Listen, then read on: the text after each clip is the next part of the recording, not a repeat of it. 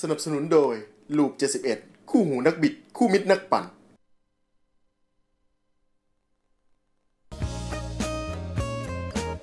ครับผมขอต้อนรับผู้ชมนะครับกลับเข้าสู่ในช่วงที่ 2 ของรายการ Speed Rider นะครับแน่นอนครับพบกับพวกเราเป็นประจำทุกวันจันทร์ถึงวันศุกร์นะครับเวลา 18นาฬิกา30 นาทีถึง 20นาฬิกา40 นาทีครับกับการอัปเดตข่าวสารต่างๆ ในแวดวงรถจักรยานยนต์แล้วก็รวมถึงมอเตอร์สปอร์ตด้วยนะครับก่อนอื่นที่จะไปฟังเรื่องราวต่างๆครับก็ต้องขอขอบคุณผู้สนับสนุนใจดีของเราก่อนครับนิตยสารรายเดือน Fast Bike Thailand คิดถึงอะไรแต่งคิดถึง X Speed โซ่บิ๊กไบค์คุณภาพมาตรฐานต้อง DID ลูป 71 คู่หูนักบิด คู่มิตรนักปั่น และกล่อง GLP เร็วแรงสั่งได้ GLP กิ้งลาดพร้าววันนี้นะอยู่กับเราอืมเน้นเน้นไม่รอช้าครับ เรามาเรื่อง SS เราดีกว่านะก่คอรันบอื่นเลยบอกก่อนสำหรับคุณผู้ชมที่มีปัญหานะครับโทรมาพูดคุยกับพวกเรานะครับที่หมายเลข 0 2 5 3 0 9 4 9 6ถึง98 นะคครัรับ บรวมทั้ง SMS เข้ามาที่ 4 8 2 7 7 7 2 พิมพ์ 4เป็นวรรคตามด้วยคำถามได้เลยนะครับอ่าเปิดรับสายอยู่นะครับ ใช่แฟนรายการครับทางใต้นะฮะก็โทรมา ได้นะฮะน้ำที่ไหนน้ำลดแล้วอะไรก็ว่าไป ได้นะครับ ก็เป็นห่วงกันอยู่นะครับอืมถ้าเรามีจังหวะเดี๋ยวเราก็จะอ่า ยกกองกันลงไปนะครับครับแต่ตอนนี้เรื่องของการจราจรยังโอ้ไปไม่ได้จริงๆ เส้นทางมันขาดแต่บางสะพานแล้วอะช่วงเขานี้ทำแล้วใช่สะพานทำแล้วอืมนะครับแต่เขาบอกว่าตนนี้บางสะพานไงสะพานขาดบางสะพานไม่ขาดไง ไม่ใช่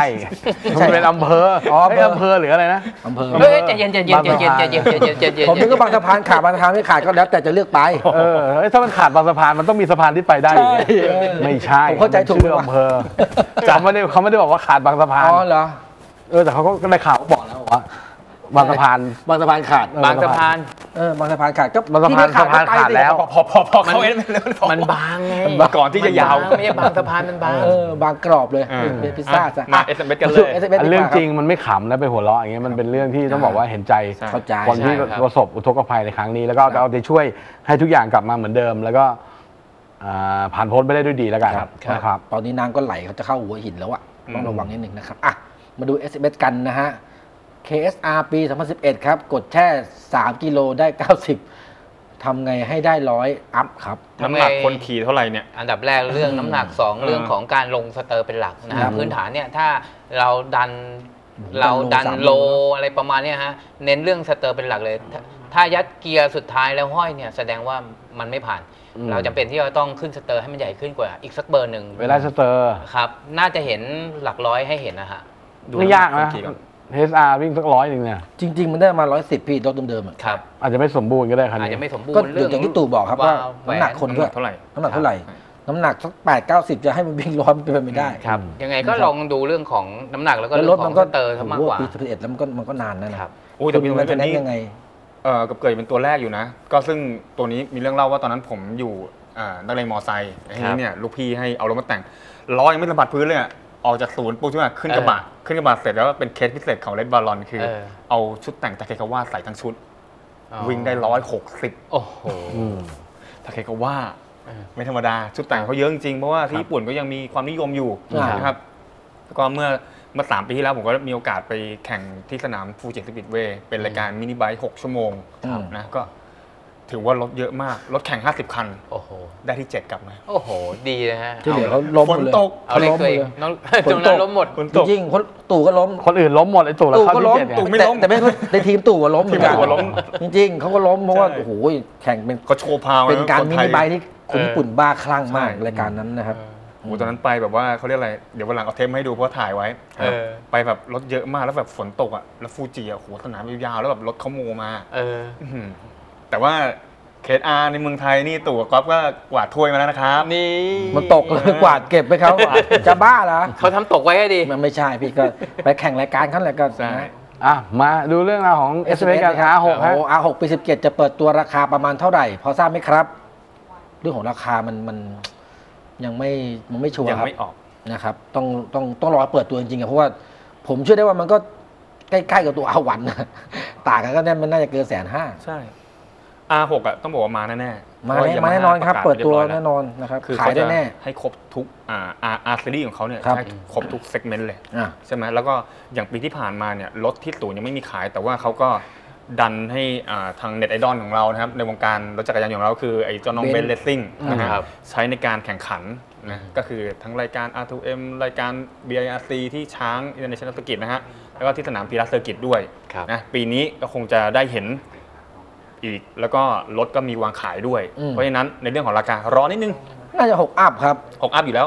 หกแสน up up เอ้ยแต่ก็ไม่แน่นะก๊อฟเพราะว่าตัวพัน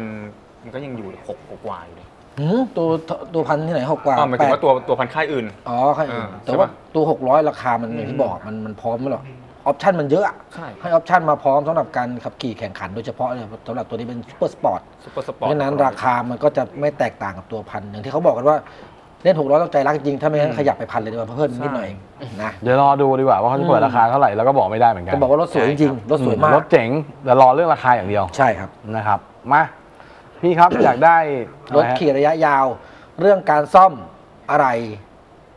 เป็นยังไงเอ่ยเอสเต่อไปครับ เลื่อนหน่อยปุ๊บการรักษาองศา CB 600ถูกต้องครับนี่ง่ายเลยครับนี่ เรื่องนี่คือคำตอบอันนี้ในตัวเองคำคำถามหรือคำตอบเนี่ยเอาคำถามอยู่ในคำตอบ เออก็คือ CB 650เนี่ยมันเหมาะสุดแล้วในเรื่องไม่ใช่เหมาะสุดเขาเรียกว่ามันลงตัวที่สุดแล้วในเรื่องการดูแลรักษาใช่ครับ มันคะแนนราคาศูนย์บริการ เอ่อเรื่องของอะไหล่ศูนย์บริการทุกอย่างมันลงตัวอยู่แล้วนะ ครับ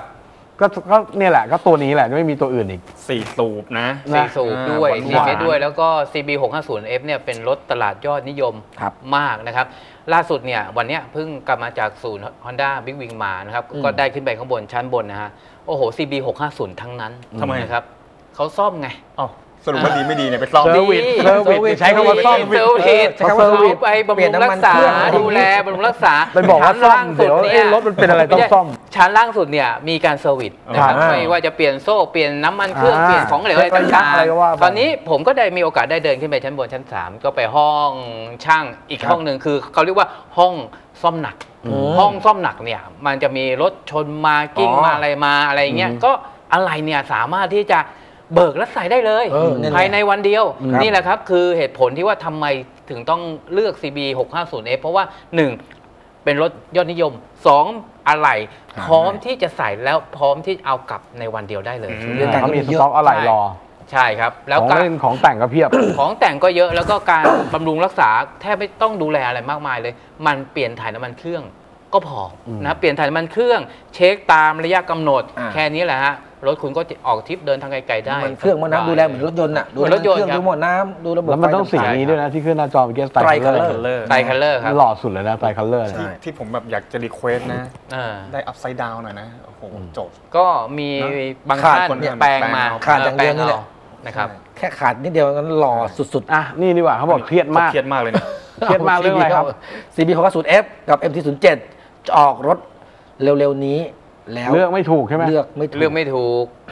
เพราะว่ามันเบียดสูสีกันช่วยบอกทีข้อดีข้อเสียเปรียบโอ้โหให้ฟังหน่อย เมื่อวานเราพูดไปแล้วใช่นะซีเอสซีเนี่ยซีซีที่ต่างกันแค่เล็กน้อยเนี่ย แต่ต้องบอกว่าเป็นคู่ต่อสู้ที่สูสีมากแหมนะครับพอๆกับคุณไอ้ยพอๆกับไอ้ไอ้นี่รุ่นหนึ่งแล้วก็อีกรุ่นหนึ่งคือรุ่นอะไรนะ รุ่น CB 500 กับ MT 0 3ป่ะที่ว่าใช่เบียดๆกันอะใช่ CC 320กับ 500 cc อ๋อ คู่ buddy กันเลยคู่เนี้ยช่วงปลายกำลัช่วงปลายใช่ เออ นี่ก็เหมือนกัน ศูนย์เจ็ดกับต้องบอกว่า ซีบีของห้าศูนย์แต่ CB มัน 4 เมตร4เมตรไอ้นั่นี่น2เมตรนี่2เมตรอ่า ต้องบอกว่าถ้าเผื่อว่าคุณต้องการความเขาเรียกอะไรฟัดต้องบอกฟัดเนี่ย ฟัด MT 0 7เนี่ย ความดุของมันอืม ความดุของเขาตั้งแต่ต้นกลางเนี่ยต้องยกให้เขา ใช่ เพราะว่านะฮะเรามีโอกาสไปทดสอบที่สนามช้างเลยนะ ตัวครับนี้ตัวนี้ะ MT 0 7เนี่ย ฟัดทุกเกียร์นะ เวลาออกจากโค้งแล้วเวลาไล่เกียร์ขึ้นมาเนี่ยแบบครับ ตอนรอบเครื่องจะเอ่อจะเข้าเลดไลน์อะอ่าฮะ เปลี่ยนเกียร์นี่แบบหน้านี่สะบัดฟึ๊บฟึ๊บฟึ๊บฟึ๊บฟ้าฟัดคือแบบมันได้อารมณ์อะสะบัดเลยนะคือปกติเนี่ยหน้าถ้ามันเกิดว่าหน้าเหมือนเหมือนหน้าจะมันยกอะเบาอ๋อหน้าเหมือนจะยกคือถ้ากระชากนิดนึงนี่ลอยเดดคัทนี่ยกทุกเกียร์ ได้ความดุได้ความโหด อืม แล้วก็ต้องพูดอย่างนี้ใช่ไหมเขาฮะเขาจะออกแนวเพรียวกว่าอืม CB 6 เพรียวบางกว่า ใช่ แต่ถ้าแต่ถ้าในเรื่องของความเขาเรียกอะไรความมั่นคงอนุรักษ์ แล้วก็นิ่มนวล ความนุ่มความมคาวหวาหวาน น ความประหยัด อ่าก็ต้องอ่า ไปทาง CB 650F ใช่ครับใช่สอง character สองตัวนี้ สองสไตล์ CC ฟัดกันก็จริง แต่มันครับ เป็นสอง characterถ้าชอบสองคันก็เลือกยากอะใช่ ราสุดคาท้ายพอผกัน มราคาพอกันอยากให้ไปลองขี่ แล้วนะ มันต้องไปหาลองขี่ไปลองข้อต้องไปหาลอง test ไปหารถลองคร่อมลองขี่แล้วจะเลือกได้เองอะว่าคันไหนที่ขี่แล้วมันใช่นะครับอะ นี่เอสเอมาอะไรสวัสดีครับ สวัสดีพี่ครักิ้บงพี่ก๊อฟพี่บอมพี่ตู่อะครับ สวัสดีครับ สวัสดีครับแล้วไงอะตัวหนึ่งเดิมๆใส่ขสวัสดีเฉยสวัสดีครับครูเอ็นโปไล่นมหนูเท่าไหร่ดีครับนมหนูโซอะนิกนมนมเป็นหนูโปรเนี่ยถ้าเป็นเปลือยเดิมๆกนะองเนี่ยไม่ไม่ใส่ลูกโตเดิมอะๆถ้าถ้าเปลือยเนี่ยก็จะอยู่ประมาณสักร้อยไม่เกินร้อยยี่สิบนะครับ ก็ใส่ได้เลยแต่แต่ถ้าเกิดว่ามีกองครบอะไรครบเนี่ยเราก็ให้นมหนูเขาบางนิดนึงนะครับ อาจจะเป็นสักร้อยสิบหรือไม่เกินร้อยห้าประมาณเนี้ยครับอืม โดยประมาณ เพราะว่าเมื่อก่อนเนี่ยเคยเคยทำใส่ให้ลูกค้าหลายเจ้าอยู่เหมือนกันอะเพราะว่าขบูเดิมมันเสียนะครับอืมเออพอเสียปุ๊บก็ยกขบูทิ้ง เพราะว่าขบูโซนิกอะมันค่อนข้างแพง เบิกทิ้งใบหนึ่งสองพันกว่าอืมสองพันกว่าปุ๊บเนี่ยมันเป็นระบบสุญญากาศ ฉะนั้ครันบเราก็เอาเอาเอ็นโปเนี่ยเอามาแปลงใส่อืมนะครับแปลงใส่ปุ๊บก็จบนะครับอืมอัตราเร่งดีลากเกียร์ลึกยาวเลยเออนะครับ ฉะนั้นแล้วก็นมหนูเนี่ยไล่ดู นะครับ อย่างที่ผมบอกไปโดยประมาณร้อยห้าร้อยสิบร้อยห้าร้อยสิบไม่เกินร้อยยี่สิบอะอะ ไล่ดูนะนะคครัรับบประมาณ 3 เบอร์นี้ ครับ เบอร์ไหนขับแล้วมันดีก็ไล่เบอร์นั้นแหละไปใช่ครับ นะครับ ไม่ใช่เรื่องยากนะครับในการไล่ขบู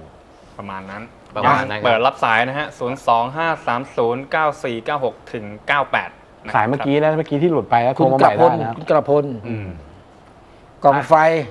กล่องกล่อง balance ไฟครับมีของมอเตอร์ไซค์ไหมครับ มีครับกล่อง balance ไฟเนี่ยครับเป็นกล่องที่เขาเรียกว่าที่มีขายกันทั่วบ้านทั่วเมืองดีกว่านะครับราคาเริ่มต้นตั้งแต่ใบหนึ่งสี่ห้าร้อยบาท จนถึงหลักพันนะครับ มันช่วยเรื่องอะไร มันช่วยทำให้เอ่อเรียบเรียงกระแสของไฟ 12 โวลต์เนี่ยให้มันนิ่ง หรือเขาเรียกว่ากำจัดขยะอืมกระแสมันออกไปอืมให้กระแสไฟมันนิ่งมากขึ้นอืมแค่นั้นเองถามว่าช่วย ช่วยได้ไหมช่วยได้ระดับหนึ่งนะครับทำให้เครื่องนิ่งแล้วก็เสถียรมากขึ้น อ๋อประมาณจริงๆนั้นในเรื่องนี้มันมาตั้งแต่สมัยก่อนของรถยนต์นี่เป็นพวกกาววายอะนะอ่ากาววายเริ่มจากครับกาววายก่อนไปเพิ่มกาวแล้วก็ให้กระแสไฟเดินเสถียรเดินนิ่งขึ้นครับผม นะครับแล้วก็มีเริ่มมีกล่อง balance จริงๆในกล่อง balance ก็เคยแกะมาดูกันหลายยี่ห้อเขาเคยออกมาพิสูจน์กันตกลงมันมีอะไร อ่า จริงๆข้างในก็ไม่ได้มีอะไรมากนะมันก็เข้าไปเป็นช่วยตัวอ่าในเรื่องของการ ทำเหมือนเหมือนเป็นสะพานไฟอะจริงๆแล้วให้มันมันให้ไฟเดินสะดวกเรียบร้อยขึ้นใช่ถ้ารถใหม่ๆเนี่ยจริงๆแล้วมันก็ ใส่ไปไม่รู้สึกอะไรหรอกมันรู้สึกไม่มีผเลยฮะเพราะว่าถ้ารถเก่าๆเนี่ยนะฮะใส่ไปเนี่ยอารมณ์เนี่ยจะเหมือนเราออกรถใหม่มันออกนุ่มอ่าๆ อารมณ์เป็นอย่างนั้นจริงๆก็ครัคืบอไฟมันเดินสะดวกไงเดิรถนที่ผ่านสะดวกรถที่ผ่านการใช้งานจริงๆมันมาจากหลักเบสิกครับเลยนะคือครับคือในเรื่องของตัวถังที่เป็น ground ใช่ไหมตัวรถยนต์กับมอเตอร์ไซค์ถังที่เป็นกาวค์อยู่แล้วรถยนต์กับมอเตอร์ไซค์เหมือนกันพอรถผ่านการใช้งานมันเกิดสนิม ครับเกิดคราบที่เป็น oxidize ที่ตัวตามหัวน็อตต่างๆอะไรพวกนี้นะครับทำให้กระแสไฟ ground มันมันไม่เสถียรครับอ่าเพราะฉะนั้นระบบไฟมันก็เลยเดินไม่สมบูรณ์ในระบบ แล้วก็มีอุปกรณ์พวกนี้เข้ามาช่วยเพิ่มเติม เพิ่มเติมครับ หรือ อยากจะทำเองมันก็ไม่ยากก็ครับสามารถที่จะบอกได้นะครับอืมเราก็ถ้าเรามีความรู้ด้านทางอิเล็กทรอนิกส์อืมนะครับเดินบ้านหม้อเลยนะครับ มีตัว C กระป๋องหรือใช่ขับหรือค่า Capacitor คาปาซิเตอร์อืมนะครับ ก็ตั้งแต่ค่า 16 ไมโครฟาราดเป็นต้นไปเออเออ3,300ไมโครฟาราดแล้วก็ 16 โวลต์ก็ได้หรือใช้หลักก็คือใช้ฟาราดอย่างเดียวนะครับเรียงเป็นตับเอาเลยก็ได้ครับ แล้วไปใส่กับรถคุณดูแค่นั้นแหละครับเป็นของพวกนี้แต่ใส่ไปก็ บางคนก็บอกขี่แล้วไม่รู้สึกอะไรไม่รู้สึกอะไรจริง เออมันมันมันออกแนวนุ่มๆมากกว่า เออ พอใส่ไปปุ๊บมันนุ่มไง อืมเออรู้สึกมันเบามือเหมือนรถออกศูนย์อะประมาณนั้น ระบบไฟมันเดินดีไงครับผม อะประมาณนี้แล้วกัน ครับ MT09 เทียบกับตัวไหนได้บ้างครับพี่จะเทียบเพื่ออะไรครับอืมถามก่อน ถ้าเทียบเป็นกับตัวไหน ถ้าเป็นในคลาสเดียวกันก็จะเป็นอ่าพวก Z อืม900ครับ คาวาซากิ ก็ต้องถามว่าจะจะเทียบจะเทียบทำไม เพื่อจะเป็นยังไงอะ หมายถึงว่าถ้าเกิดเป็นเป็น nakedอืม 900ซีซีด้วยกัน900 4ต้องไปเจอกับอะไรประมาณนี้ไงอ๋อ ถ้าจะมองไว้ ที่มีตัวเดียว ก็มี Z ถ้านับนับนับตอนนี้ก็มี Z ใช่ไหมที่เป็นรถที่ญี่ปุ่นเป็น เหมือนกัน Naked ครับนะใช่ Z แต่900 Z 900เพราะว่าดูแล้วค่ายอื่นไม่น่าจะมีตัวตัวเนกเก็ตที่เป็นระดับ 900 ไม่มีที่จะมาสูสีกันแล้วนะ900ก็มีนิดเนี่ยก็จะมีไปมอนเตอร์เลย มันเติมไม่ถึง9มันต้องเป็นอ่าเป็นพวกแปด821 821นี่821แปดสองหนึ่งประมาณนั้น ก็เอาเอาญี่ที่ปุ่นด้วยกัน821อีกนิดนึง900อะให้มอนเตอร์อีกตัวก็ให้ให้มอนสเตอร์ได้ค่ายดูอีกกตัวติหนึงอืมครับดูกติอีกคันหนึ่ง 821แต่ถ้าเทียบกัน2ตัวระหว่าง MT09 กับ Z 900โอ้อะถ้าเอาจับมาเทียบกันนะอืมแน่นอนว่า Z 900ไม่ได้ความใหม่สดกว่าเพราะมันเพิ่งออกสด MT09 ออกมาสักระยะหนึ่งแล้ว Z 900นี่ต้องบอกว่าท็อกออเดอร์ทาวมากอืมอืมเปิดมาอย่างเงี้ยแล้วมันแรงรู้เรื่องเลยนะใช่มันเพอเพอเพราะว่าแต่น้ำหนักก็น้ำหนักที่มันลดลงไงแต่ว่ามันผมว่ามันสวนทางอะส่วนเก้าเนี่ยเรามองไว้อย่างที่เราตอนที่เราไปทดสอบจำได้ไหมครับเราขี่ไล่ตั้งแต่ศูนย์เจ็ดใช่ไหมใช่พอไปจับศูนย์เก้าเราคิดว่าโอ้โหศูนย์เจ็ดยัง เปิดคันเร่งนี่มันสะบัดดิ้นขนาดนี้ ถ้าศูนย์เก้านี่มันจะโอ้โหขนาด ปรากฏว่ามันพลิกล็อกไม่ใช่ไม่ใช่ เพราะว่าเป็นการเซ็ตรถของยามาฮ่าศูนย์เก้าเนี่ยเขาไปปรับพวก ECU อืมให้มันขี่ smooth นุ่มนวลขึ้นอืมซึ่งต่างจากเอ่อ Z 900ไงใช่ไหมใช่ Z 900ใหม่นี่มันโอ้โหมันก็รู้เรื่องเหมือนกันนะ ในการเซ็ตรถในแต่ละค่ายก็จะไม่เหมือนกันใช่ นะครับเพราะฉะนั้นถ้าเอาจริงก็ต้องมีโอกาสไปสัมผัสทั้งคู่แต่ถ้าถามเราข้อมูลเบื้องต้นรถ naked ที่ประมาณ9 4 4ก็มี 2 ตัวเนี้ยนะตอนเนี้ยในท้องตลาดก็ให้ก็ให้ Monster อีกตัวหนึ่งตามมี Monster อีกตัวหนึ่งอืมประมาณนั้นนะถ้าชอบรถประมาณนี้อะอะถ้างั้นช่วงนี้เราไปพักเบรกโฆษณากันสักครู่ช่วงหน้ากลับมากับรายการ Speed Rider